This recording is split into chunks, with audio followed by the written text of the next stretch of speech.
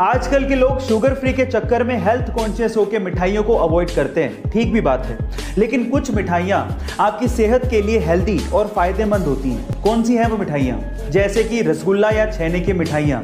जी हाँ गाइज़ रसगुल्ला या छेने की मिठाइयाँ आपकी आँखों की जलन को कम करती हैं। इनफैक्ट आपकी आँखों के पीलेपन को कम करती हैं और उन्हें सुरक्षित बनाए रखती हैं। डिलीवरी बॉय खाना ही तो देने आता है। वो कोई इंसान थोड़ी ना है। उसका कोई दिल थोड़ी ना होता है। अगर आप भी ऐसा सोचते हो तो इस वाक्य को ध्यान से सुनिए। एक बार एक डिलीवरी बॉय बारिश के अंदर सड़क पे खड़ा होकर रो रहा था। पता क्यों?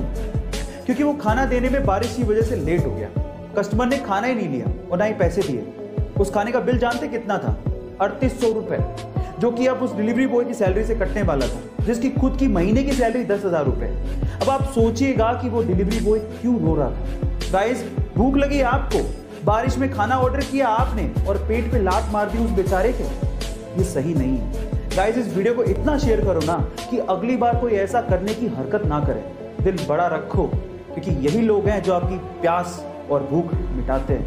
गाइज़ ऐसी वीडियोस के लिए यूट्यूब पे हमारे चैनल को सब्सक्राइब कर लो और अगर आप इंस्टाग्राम पे देख रहे हो तो मुझे फॉलो करना मत भूलना। मिलते हैं